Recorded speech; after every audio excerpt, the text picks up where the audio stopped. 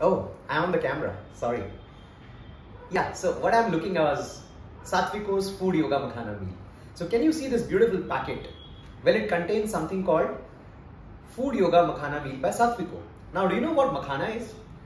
If you go into the yogic history, makhana is known as one of the richest superfoods ever, ever grown on the planet. And Sattviko has created a very delicious instant meal out of makhana. And you can just prepare it by adding hot water and it prepares in less than 5 minutes. Not just it's delicious, but it comes with a lot of the macro and the micronutrients. It is very high in fiber, high in protein. And you look at the nutrition table and there is a lot that basically adds my reason to pick up Sattviko's Food Yoga Makhana meal after my yoga practice.